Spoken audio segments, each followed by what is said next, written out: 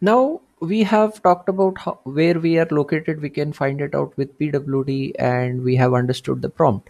Now when we will be working on the command line and you will be giving some commands, obviously you will be manipulating the files, copying the files, moving the files or uh, you might want to open a directory. Now in case of uh, a graphical interface, you just move around and double click on some folder icon or directory icon and it shows you the contents. Now whenever we are going to work on the command line we have to be in a particular directory to get some action done. Let's say i wanted to copy a file from the current working directory to some other location. Let us say i wanted to uh, copy this file foo from here to say inside etc or inside temp.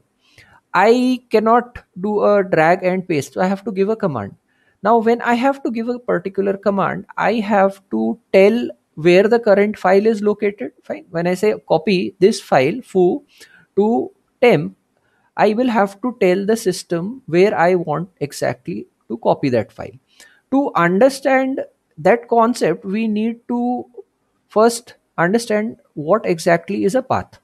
So path basically is a reference to any file or directory that is there on your system.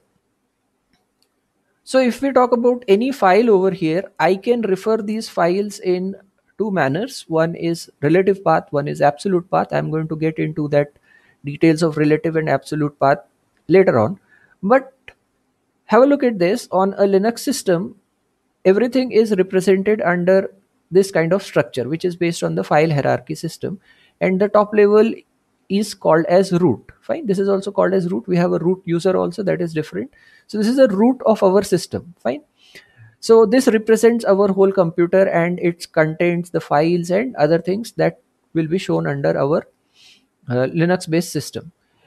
Everything is separated into these directories and home where users have their directories. Now if you wanted to refer to any file or directory you will give its path. And the path is basically nothing but a string which could be starting with a slash or it could be given with reference to the current location. And in our path the slash is considered as a separator. The first slash refers to the top level and then we can traverse to or point out to any file. So let's look over here. If i wanted to refer to this particular file say resume we will have to say slash traverse to home. Fine. So slash home after home there is user a. Now to separate these two things we are going to use a slash again. After user a i have to traverse to documents. Then i will say another slash and then the resume. So the reference to this file in one of the ways is called as slash. Then i have to say home. I don't need to type in root. That slash is referred as root. Slash home. Then user a keep in mind linux file system is case sensitive so you have to type in exactly in that manner. Then you say documents and then you say resume resume. So this is a reference to a file called as resume. Now if i don't use the resume part then it becomes a reference to this directory or usually what people refer today things as folder. This is the reference to this folder so let's have another reference. Let us say if I wanted to refer to this particular file x resources, then the reference is going to be slash. If you traverse from here slash, we go to etc. So etc slash x 11 and then the separator then x r e s o u r c e s resources so in this similar manner i could refer to any file by traversing this path and providing these slashes in between. And that becomes a path pointing to a particular file or directory now these paths can be given in two manners. One is called as a relative path. Another is called as an absolute path. Current discussion which happened was with respect to absolute path.